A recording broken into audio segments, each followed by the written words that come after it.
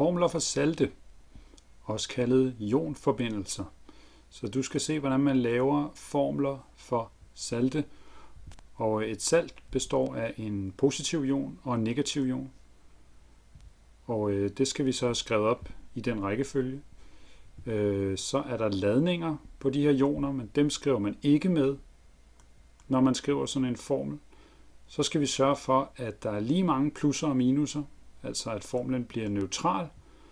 Og øh, for at angive antallet af de positive og de negative ioner, så bruger vi nogle sænkede tal. Og du skal selvfølgelig også se nogle eksempler. Så første eksempel er allerede her, magnesiumklorid. Det består af magnesiumioner og kloridioner. Og de skal så skrives op i den rækkefølge, altså positiv først, negativ bagefter. Øh, så skal det være neutralt, det vil sige, at der skal lige mange plusser og minuser. Da magnesium har to plusser, og klorid har et minus, så bliver vi nødt til at snuppe to styks kloridioner, altså to Cl-, og det angiver vi i formlen med et lille total for neden. Så det er altså to styks af den her Cl-ion. Læg mærke til, at øh, ionerne de har altså plusser og minuser på, men vi skriver dem ikke i den samlede formel. Så det her med antallet af de forskellige ioner, det kan illustreres ved hjælp af nogle klodser, hvor størrelsen af klodserne angiver ladningen, altså angiver hvor mange plusser eller minuser. Her har vi for eksempel en magnesiumion. Den har to plusser, så den er, hvad jeg vil kalde to høj. Klorid, altså Cl-, den har et minus, så den er kun en høj. Og vi kan se, for at det skal være neutralt, så skal klodserne altså være lige store. De positive og de negative skal være lige store. Så der skal to stykker Cl- til for at neutralisere 1 Mg2+. Nogle flere eksempler. Calciumklorid. Øh, så det består af calciumioner og kloridioner, og øh, hvis du ikke kan huske ladningerne, kan du få hjælp i din bog. Jeg har brugt det her schema, hvor vi har calcium først og klorid efterfølgende. Så det er altså en øh, calcium 2+, og så er det Cl minus.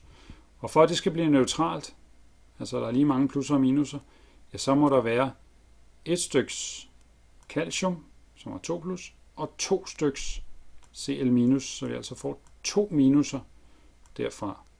Det vil sige Ca Cl, så det lille total illustrerer igen, at der er to styks Cl-ioner. Vi prøver den næste. Calciumkarbonat. Ja, der har vi calcium igen, vores gode ven. Og karbonat finder vi hernede. Det er en af de ioner, du forventes at kende. Den har 2 minus, og calcium har 2 plus. Øh, så det var altså calcium og karbonat. Calcium er en simpel ion, består altså af et atom, mens karbonat er en sammensat ion, et karbon og tre oxygener, og i alt en ladning på 2 minus. For at det skal blive neutralt, ja, så snupper vi en calciumion, 2 plusser, og en karbonation med 2 minuser. Vi skriver ikke ladningerne på, men de er der altså stadigvæk. Men det var meget nemt, en af hver. Bliver lidt mere kompliceret her. Calciumnitrat. Og hvis vi går den rigtige vej, det er igen calcium. Og så har vi nitrationen her øverst med 1 minus. Calcium.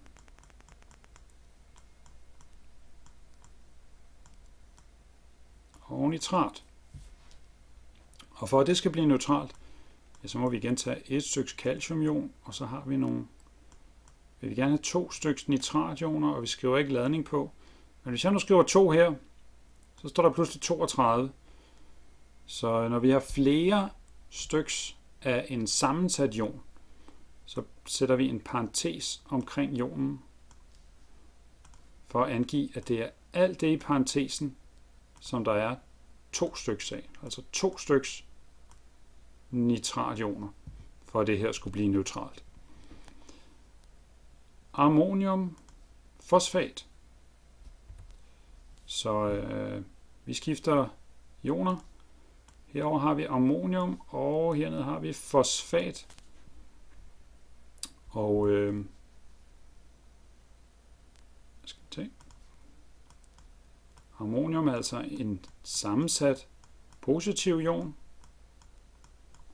og fosfat en sammensat negativ ion med tre negative ladninger.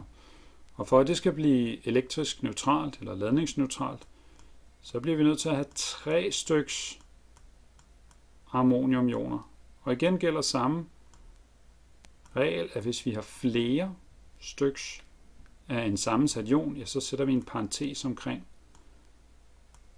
for at angive, at det er hele den sammensatte ion, som vi her har tre styks af. Altså tre ammoniumioner, hver med 1 plus, det giver 3 plusser i alt, og så har vi fosfationen med 3 minuser. Sidste eksempel. Jern 3 sulfat. Så øhm, jern er, øhm, skal vi tænke så, her har vi den. Jern er et af de grundstoffer, der står her i undergrupperne, og de kan finde på at have forskellige antal plusser. Og i det her tilfælde, der har jern altså 3 plusser. Det er angivet med det her tretal i, i parentesen. Vi kan også se her i tabellen, at det kan have 3 plusser, og jern kan også have 2 plusser. Her er der altså 3 plusser. Og jern hedder Fe.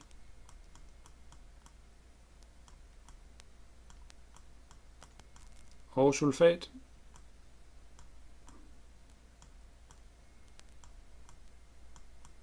med to minuser. For at det skal blive øh, ladningsneutralt, ja, så bliver vi nødt til at snuppe to styks jernioner. Det er simple ioner, så jeg sætter ikke nogen parentes. Og tre styks sulfationer. Så det er altså to styks jern 3 ioner, det giver 6 plusser i alt, og 3 stykker sulfationer, det giver også 6 minuser, så det gør det neutralt. Men det var lidt om øh, formler for salte.